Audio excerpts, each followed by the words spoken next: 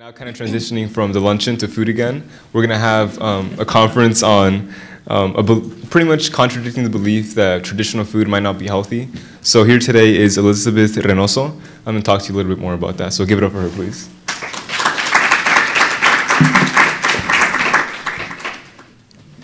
Hi, hi everyone.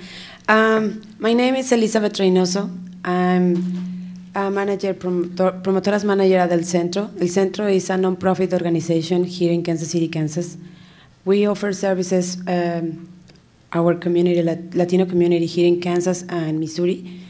Um, today is an amazing uh, thing to talk about. Latino food is healthy because we are working with our Latinos, with our people, just trying to not teach them, just try to help them to understand that we have an amazing and incredible healthy food. Um, I work with El Centro since 2007. All these years I have been working with a Latino community. When I live in Mexico, I graduate on, um, I have my degree on communications and I work in the media industry. I work in television and TV, radio, and marketing, and I and I know the strategies that the food industry has, and I know the strategies that they use just for just trying to sell their products, and now working with Latino community, and other other communities too, um, we are to we are to sharing with uh, our people the strategies that we can use just to recognize what is healthy and what is not. We have family come in our house and bring something because we have a party. It's a game, but it, it can be a party. Baby showers, family meetings, birthday uh, parties, graduations, weddings, quinceañeras. Wow, oh my gosh, this is a, a huge party quinceañeras, anniversaries, funerals, anywhere and everywhere we have food. Have food always, every day, for every for everything.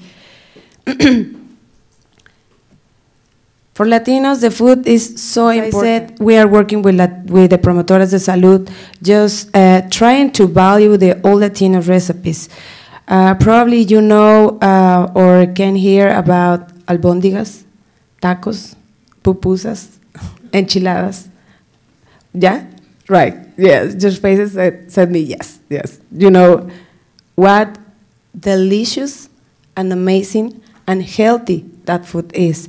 But the problem is the portions. The problem is the combinations. Recipe taco. Do you like tacos? Taco is a taco.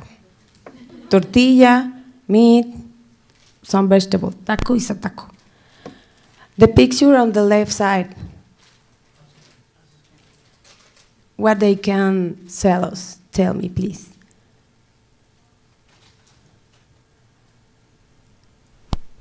It's a healthy taco, slim taco, gourmet taco, special taco, expensive taco. It's exactly the same taco that we prepared last Wednesday in, in our office. It's exactly the same. Taco is Latino food.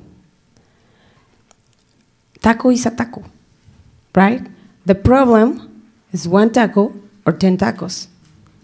That is the problem. We need to use portions. This is our portion. Now this. But what do you drink? Probably, can you help me? Probably some of you can use this as an example. We need to read these labels.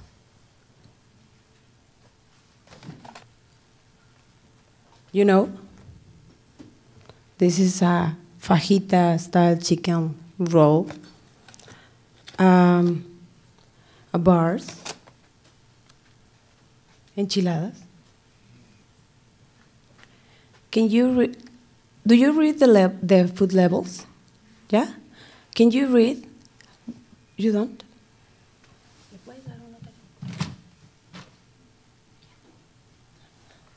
that lady. Can you read the, the first line on the nutrition facts? Uh, serving size. Is the most important, serving size. You need to identify for how many persons is that box or that bag or that cup.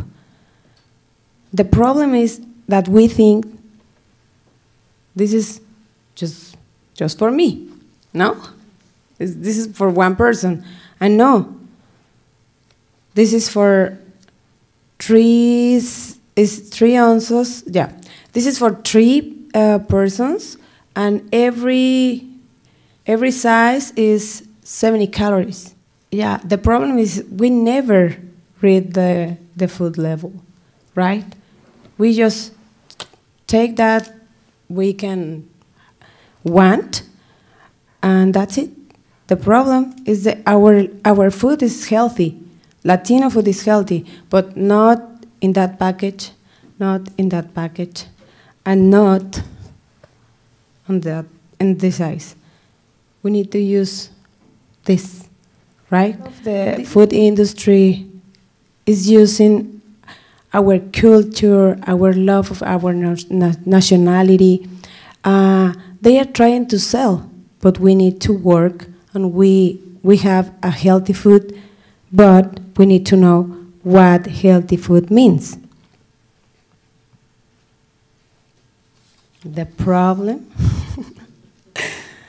we have, unfortunately, our society, but we are talking about Latino food. We have uh, a huge gladiators against healthy habits.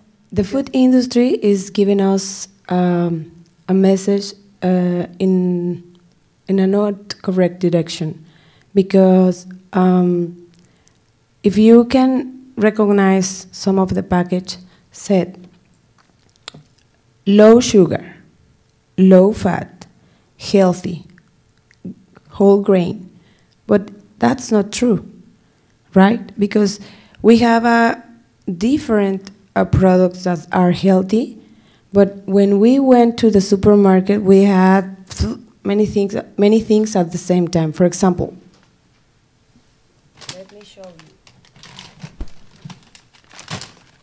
This is a typical snack. It's a typical snack for kids or for you, probably. This is fruit, they said. But this is not a, not a fruit. This is not a real fruit. This is a processed product, and this is only sugar. But we can see raspberries, blue, blueberries, strawberry, oranges, um, fruits. But what do you think about this?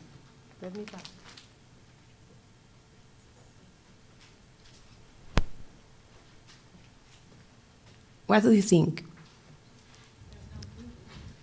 It's not fruit in there. Yes. But some of parents use that for our kids, right? Yeah. it's something it's, it's just an example. But we have a bunch of products that we can buy, but it's not healthy. And now we are we are using our knowledge working with our community, telling that obviously Latino food is healthy, but we need to recognize it. Another example. Do you know quinoa means? It's a grain. It's a famous grain today. Uh, yes, yes, we know quinoa is um, superfood, is healthy, for many reasons, but not on, on this, on this uh, box, right? Because it's a processed product. No matter what, they use this product selling us quinoa chips. Are you thinking that this is healthy? Quinoa is healthy, but, it, but, but if we use quinoa in the original grain, not quinoa process or, or quinoa chips. because probably the, the nutrient value probably decrease on zero because this is process, right? We need to, to eat quinoa, but the original quinoa, no quinoa in this presentation. Unfortunately, this product is more cheaper than the grain, uh, the, the original grain. Because probably you can buy this just for four or five dollars. And the other product, the original, is probably 25, 26, the little bag. And what do you think that the people are, are buying? Cheapest one. Our problem is that we buy food just for be part of the group. Some people use quinoa, and others use the, the other grain that uh, another grains that are used in the food industry right now, but they just try to sell us that ideas. Eat healthy, eat less, use um, low fat, low sugar, but that is not our real. This is, this is the thing that we are talking today. Our food is good, our food is healthy, but we need to recognize what kind of food, what NCLR gave us the opportunity to work with their program, Comprando Rico y Sano. Comprando Rico y Sano is um, a program that we can to, to teach the community how to eat healthier on a limited budget. We gave the community just $5 and they can do an exercise buying healthy food, uh, $5 using just for, for one meal for four persons. And they recognize that they can, they can uh, try to work with a budget, planning their menus, and buying the local stores and have healthy food for, you, for their families. We are trying to explain the Latinos that we have the local farmer market because we we want to go to buy just uh, another stores. I don't want to say names. Another stores, just trying to. We are trying just to say, you know, if you buy here, you can uh, help our uh, local farmer workers. We are helping us to work with uh, our local economy and as you know, uh, local farmers workers is a, is a program that are helping refugees. And we try to explain them, if you buy here, you can help in another people. And if you go to the supermarket, you are helping rich people, right?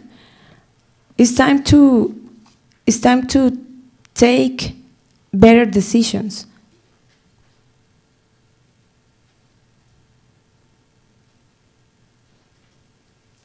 Is an example that we are working in our community. Promotoras de salud are sharing their social um, neighbor. They are working in uh, health fairs, uh, in uh, local stores. They are working every single day with our community trying to helping us, El Centro Inc., to work with our Latino community, giving them the information about that we have healthy food and we have resources and we have the opportunity to have a better life here. The key is the portions. The key is that we need to recognize that we have the power that what kind of food we want to eat, what kind of food we want to buy. Thank you.